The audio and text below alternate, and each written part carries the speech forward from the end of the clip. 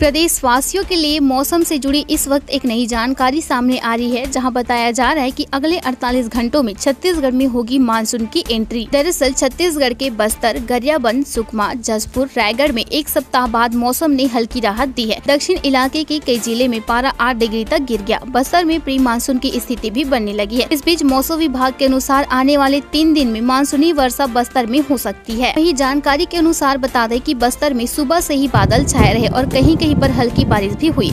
दूसरी ओर मध्य छत्तीसगढ़ के कई जिलों में लू चलने की जानकारी भी आई है। अभी यह सिलसिला दो दिन और रहेगा। मौसम विभाग के मुताबिक रायपुर, सरगुजा और बिलासपुर संभाग के कई जिलों में लू चलने के आसार है, जहाँ बाईस जून को प्रदेश में एंट्री करने वाला मानसून अब 25 जून तक बस्तर में प्रवेश करेगा। बीच अगर मौसमी सिस्टम की बात करें तो उसकी भी जानकारी हम आपको वीडियो में आगे बताने वाले हैं। इसके पहले यदि आप चैनल पर नए हो तो आप सभी चैनल सी जी छत्तीस न्यूज़ को सब्सक्राइब कर बेल आइकन को ऑन ज़रूर कीजिएगा की ऐसी डेली की नई नई जानकारियाँ आपको मिलती रहे। ओके तो चलिए वीडियो में आगे बढ़ते हैं। एक ऊपरी हवा का चक्री चक्रवाती परिसंचरण उत्तर पूर्व बिहार और उससे लगे पूर्वी उत्तर प्रदेश के ऊपर ज़ीरो दशमलव नौ किलोमीटर ऊंचाई तक फैला है। इसके असर से प्रदेश में एक दो स्थानों पर हल्की वर्षा होने तथा गरज चमक के साथ छीटे पड़ने और वज्रपात की संभावना है। और वहीं राजधानी रायपुर में आकाश आंशिक मेघमय रहेगा। इस बीच मौसम विशेषज्ञ एच पी चंद्र ने बताया कि बीते सोमवार को दक्षिण पश्चिम मानसून पश्चिम बंगाल के शेष भाग और सिक्किम पहुँच चुका है, जहाँ अगले दो से तीन दिनों में इसके ओडिशा पहुँचने की संभावना भी बन रही है।